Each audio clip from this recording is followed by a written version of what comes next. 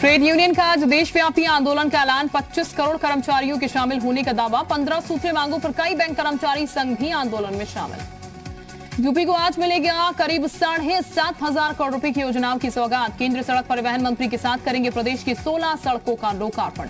Corona vaccine को गाँव गाँव तक पहुँचाने के लिए केंद्र सरकार का बड़ा कदम। हर राज्य में ब्लॉक स्तर पर बनाई जाएगी टास्क फोर्स राज्य सरकारों को जल्द काम शुरू करने का निर्देश। कोरोना संक्रमण को रोकने के लिए यूपी के कई जिलों में कड़े निर्देश। नोएडा में शादियों को लेकर नई गाइडलाइंस में इजाज़त लेना ज़रूरी। लखनऊ में धारा एक लागू। आगरा में मेधा पाटकर को पुलिस से रोका। कृषि कानून के विरोध में मार्च में शामिल थी मेधा पाटकर। प्रयागराज पुलिस ने लव जिहाद के आरोपी शिबू खान को नैनी इलाके से किया गिरफ़्तार। 24 अगस्त को हिंदू महिला ने आरोपी के खिलाफ प्रेम जाल में फंसाकर शादी के बाद धर्म परिवर्तन करने का दबाव बनाने की शिकायत की थी। प्रयागराज के स्वराज भवन से संचालित अनाथालय के खिलाफ मुकदमा दर्ज किया गया। गांधी परिवार के पुश्तैनी मकान स्वराज भवन में चलने वाले चिल्ड्रन नेशनल इंस्टीट्यूट के खिलाफ एफआईआर दर्ज। दिल्ली में कोरोना के मामले बढ़ने के बाद वाराणसी में रेलवे स्टेशन पर विशेष सतर्कता बढ़ाई गई है वाराणसी के कैंट और मंडुवाडी रेलवे स्टेशन पर दिल्ली के आने वाले यात्रियों की antigen sampling. Kamla Nehru education society में भ्रष्टाचार की होगी जाँच, विधायक अदिति सिंह के लेटर पर सीएम ऑफ़िस ने दिए जाँच के आदेश। हाथरस कांड में सीबीआई ने लखनऊ हाईकोर्ट को दिखाई स्टेटस रिपोर्ट 16 दिसंबर से होगी मामले की अगली सुनवाई। बाल यौन शोषण के आरोपी जूनियर इंजीनियर को कोर्ट ने रिमांड पर भेजा 26 से 30 नवंबर तक सीबीआई रिमांड पर रहेगा आरोपी रामभवन मेरठ में शादी में कोविड नाइन्टीन गाइडलाइंस का उल्लंघन करने पर पहला केस दर्ज हुआ। मामला थाना लालकुर्ती इलाके के बैजल भवन का। उत्तर प्रदेश के मुख्यमंत्री योगी आदित्यनाथ की फ्रांस के राजदूत इमैनुअल लेनिन से हुई मुलाकात। सीएम ने ट्वीट किया कि इमैनुअल लेनिन से मुलाकात बहुत अच्छी रही। महोबा में खनन कारोबारी इंद्रकांत त्रिपाठी ने गोली मारकर खुदकुशी करने के मामले में पुलिस ने तत्कालीन थानेदार को गिरफ़्तार किया।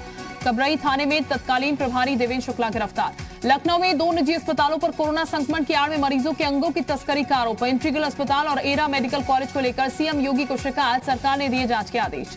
यूपी में जहरीली शराब कांड पर योगी सरकार सख्त आबकारी, मंत्री के विभाग के अधिकारियों के साथ बैठक, कहा किसी भी कीमत पर रोकी जाए वह शराब की बिक्री। विक्रू कांड में एसआईटी जाँच में गैंगस्टर विकास दुबे के साथ ही अरविंद त्रिवेदी उर्फ़ गुड्डन और उसके पत्नी के फर्जी दस्तावेजों से हथियार और सिम लेने का हुआ खुलासा। अरविंद त्रिवेदी और पत्नी पर केस दर्ज। फिरोजाबाद में हुए छात्रवृत्ति घोटाले मामले में पाँच अधिकारी समेत आठ लोगों पर कार्रवाई की तलवार। साल 2002 से लेकर 2006 के बीच फिरोजाबाद के पिछड़ा वर्ग कल्याण विभाग में छात्रवृत्ति घोटाला हुआ था। फिरोजाबाद में कई शिक्षण संस्थानों में वास्तविक संख्या से अधिक छात्र दिखाकर तिरपन लाख का घोटाला किया गया था।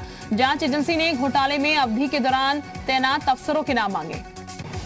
वाराणसी के चेक थाना इलाके में बदमाश खुलेआम पिस्टल लहराते हुए कारोबारी से 50 लाख की रंगदारी मांग रहे घटना सीसीटीवी कैमरे में कैद हाथरस की थाना हाथरस जंक्शन पुलिस और बदमाशों के बीच मुठभेड़, तीन आरोपी गिरफ़्तार, तीन तमंचे कारतूस चोरी की पिकअप और भैंस बरामद। जालौन में कालपी कोतवाली पुलिस इलाके में 19 नवंबर को हुई हत्या के मामले में खुलासा, हत्या के आरोप में शख्स की पत्नी और उसका प्रेमी गिरफ़्तार। झांसी के सीपरी बाज़ार थाना इलाके में लापता हुए 11 साल के बच्चे को पुलिस ने बरामद किया। पुलिस के मुताबिक परिजनों की डांट से नाराज़ होकर भाग गया था बच्चा।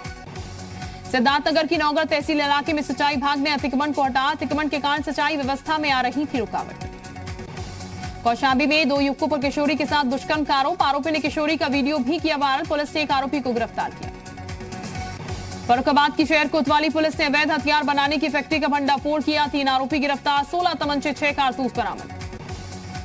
फतेहपुर के बखेबर थाना इलाके में तेज रफ्तार ट्रैक्टर ने बाइक सवार को मारी टक्कर, मजदूर सहित दो लोगों की मौत, एक व्यक्ति गंभीर रूप से घायल। फतेहपुर के जाफरगंज थाना इलाके में बावरिया गैंग के बदमाशों ने घर में घुसकर चोरी की। भागते समय एक बदमाश को ग्रामीणों ने पकड़कर पुलिस के हवाले किया।